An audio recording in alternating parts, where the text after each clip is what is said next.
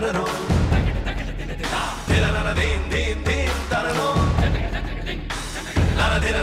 da da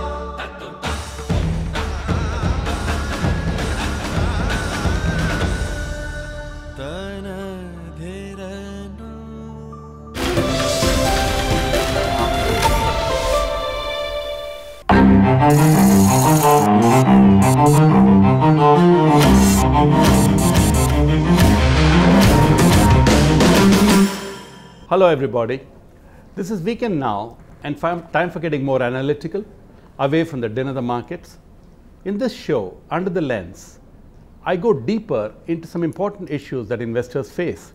The idea is for you to get an in depth macro knowledge of the same headlines and stories which you have been reading right through the week. Today, we are joined by John Elliott, leading columnist and blog writer, and a long-time India hand, John, if I can say that, was made Delhi his second home. John is a contributor to Financial Times, Fortune magazine, and his own blog in India called Riding the Elephant.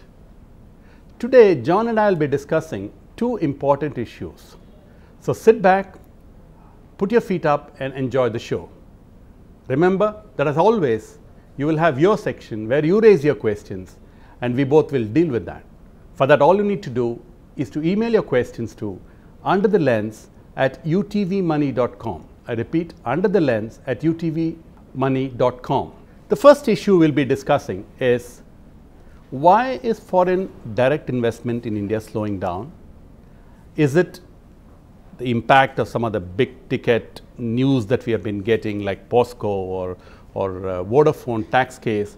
Or is it something much deeper as a, as a malaise? Or on the other hand, don't you, you don't see it as a malaise at all? I don't think it's a malaise. I think it's an international um, flow of funds that the people are looking to invest less. It's certainly not a reaction to the um, to the current problems of, of, of POSCO and Vedanta um, and, and, Vodafone um, because they are too new to accept to, to, to affect the actual inflow of funds. They might affect people having a look at the place, but nobody's going to stop actually going ahead with a project which is virtually ready. Yeah, the, the point is, let's say we opened up mining sector. So we expected the BHPs, the POSCOs of the world. It's a very underdeveloped sector in India and was closed. Now, go, uh, government gave some approval to POSCO and another arm of the government has held it back. So people are saying, can these, can these guys be taken seriously? You know, we think we have all the approvals, but we actually don't. Yeah, well, POSCO knew what was happening. These companies always know what are happening. What's happening. right. And if they, I mean, they may not, they may, may not acknowledge it to, to us to me as a journalist. They may do to you as a banker. You probably hear much more from them than I do. Yeah. Um, but Vedanta and POSCO knew what they were doing with the, with, the, with, the, with the bureaucrats and the ministers they were dealing with. They knew the opposition on the ground. Okay. I think Vedanta could see the problems coming for a long time. Yeah, Vedanta is basically Indians, right? Mr. Agarwal has been around for a well, yes, but he's time. a foreign investor from London. For, so yeah, he's, yeah, yeah, he's, he's, he's, he's, groupable. I mean, if you're mm. looking at mining, you, mm. the, the, investors in London will surely say that Vedanta is a London-quoted company. You yeah, may have Sterlite here, mm. and therefore, but let's stay with POSCO. Yeah. POSCO had a lot of local opposition, mm. and it was waiting for the government to sort it out. Mm. What we didn't realise at the time, and I've been to the POSCO site and I've, I've been following that, that right? project, -hmm. um, what we didn't realise was that, that, that some of the environmental approvals were suspect. Okay. The problem, of course, is that environmental approvals in this country have been suspect at all levels for mm. 10 years because of a series of ministers until Jairam That's what some others are saying. In. Today, you guys are getting your act together. You didn't have a pre-clearance on environment like many other countries have.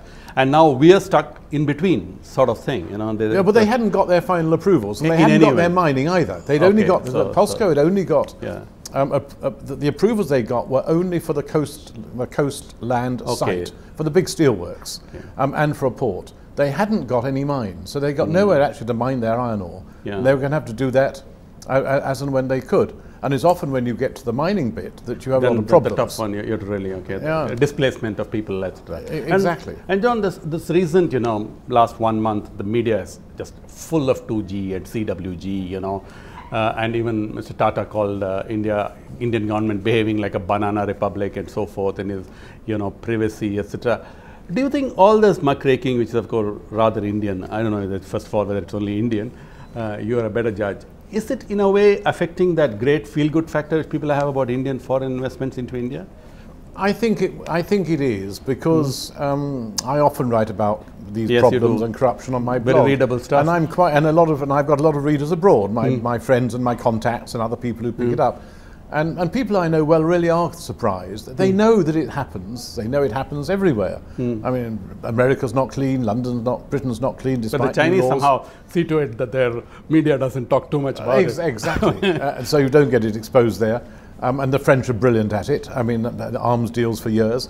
Uh, but I think people are surprised by the depth of it here. I don't think that people realise how, how in, in, in endemic it is. Um, and to quote Ratan Tata, um, on the way to becoming Yes. a banana republic, because it eats into everything. It's very difficult to find a clean bureaucrat or a clean um, politician who you can say categorically would not take on some deal if they had the chance. Oh, well, well, I take that. Uh, so, a one liner with all this happening, you think this FDI, we had about 20% reduction in FDI this financial year. That's a fasting phase because of global liquidity, and, and we are a preferred destination as we think we are. Yes, I think so. But obviously, if this builds up and if foreign investors see more bad news, um, whether it's alleged corruption, whether it's reopening things like the payments that they're going to face on the 2G, maybe on the 2G licenses, um, or whether it's a project being looked at in the environmental area, um, it, that could affect it. But Long term. look at the people who are trying to rush in. 300 companies came with, came with President Obama when he came, in the middle of all the fuss over Vodafone. Just when Vodafone was saying that what's happening to us on tax is really going to Yeah. infest foreign so on the ground, on the ground, you're seeing it, yeah. And then 300 companies come in with uh, come in with the American president. Vodafone's argument, I'm sorry, doesn't sound very valid. I think coming from you is a great confirmation for, for our viewers. Uh, don't go away. We'll just have a short break. And uh, after this section, we will be having specific sectors and your take, being an All India hand, on any of these sectors and whether you see something more needs to be done. And always, as always, you remember on what we've said now and what we'll be talking about. If you want to participate, email your questions to underthelens at utvmoney.com. We'll take a short break and we'll be right back.